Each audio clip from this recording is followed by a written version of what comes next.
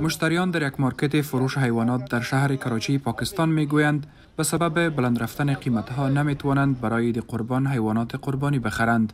تورم پولی در پاکستان در طی 13 سال اخیر در بلندترین حد آن رسیده است. قیمت ها بسیار بلند است و گاوها بسیار قیمت. تورم پولی بالاست. ما توان خریدن یک گاو را نداریم. با قیمتی که در گذشته یک گاو کلان می خریدیم حالا باید یک گاو کوچک را بخریم.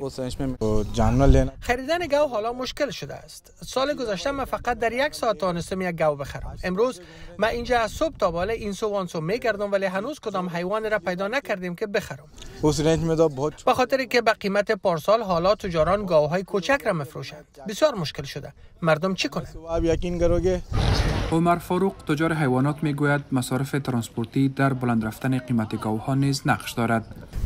گاوها قیمت قیمت ها به خاطر ترانسپورت و بلند رفتن هزینه پترول و دیزل نیز افزایش یافته است. یک حیوان را که سال گذشته به 220 هزار کلدار به فروش می رساندیم حالا به 420 هزار کلدار می فروشیم این 200 هزار به خاطر افزایش تورم پولی است.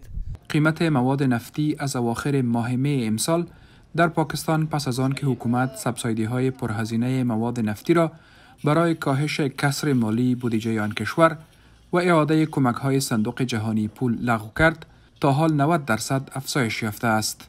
مومن خان واحدی صدای امریکا واشنگتن